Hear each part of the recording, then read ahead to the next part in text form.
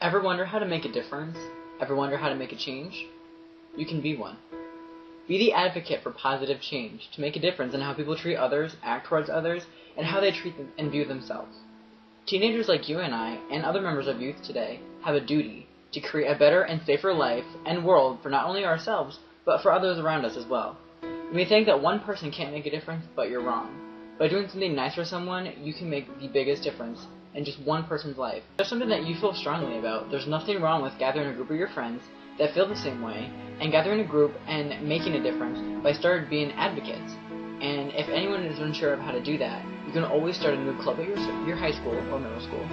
And you can also um, gather outside groups of people from other than your school, and you can start having meetings, making differences, and start getting involved in the community. The more you get involved in your community, the more positive change can happen. And the more positive change can happen, the better things are off to be, and there's nothing wrong with that. So, I urge everyone right now to try and just think about it. Just think about the possibilities. You know, if there's so many people out there who, you know, are so um, afraid to step forward and, and say what they believe in and, and act on what they believe in, you can be that spokesperson for all those people. And I'm talking about like hundreds of millions of people who do that. And it's important.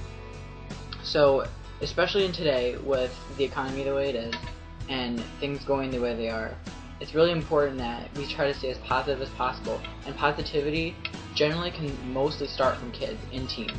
So it's really important, like I said.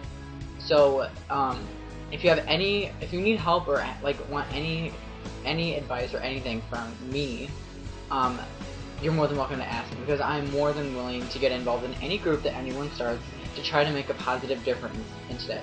So I urge you all to get out there and make a difference. Be the difference.